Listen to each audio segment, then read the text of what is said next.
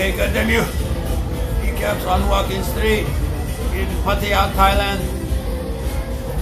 Run across choppers. Easy rider. ecaps like to put his bike in your garage. Okay, good damn you. Not forget subscribe to my channel.